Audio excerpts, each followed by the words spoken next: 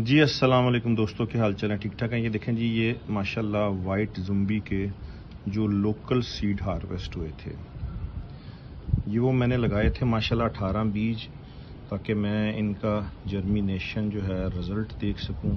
اور الحمدللہ اٹھارہ کے اٹھارہ ہی بیج جرمینیٹ ہوئے ہیں۔ ستائیس جون کو بیج لگائے تھے اور آج چھ جولائی ہے۔ تقریباً یہ نو دن کا رزلٹ ہے۔ اور ماشاءاللہ دیکھیں کتنی ہیلدی جرمینیشن ہے۔ اور میں نے یہ بیج اس طرح سے لگائے تھے کہ میں نے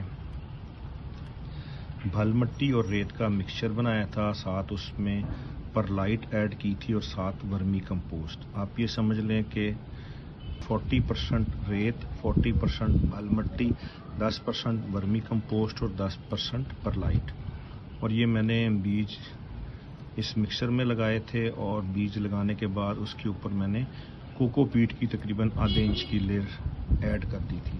الحمدللہ، آج چھ جولائی ہے اور یہ دیکھیے، نو دن کا رزلٹ ہے اور ماشاءاللہ جرمینیشن کتنی اچھی ہوئی ہے۔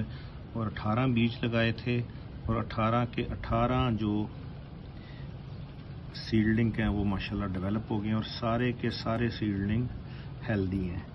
ابھی میں آپ کو اس کا مدر پلانٹ دکھاتا ہوں، جس پلانٹ سے میں نے یہ بیج حاصل کیے تھے۔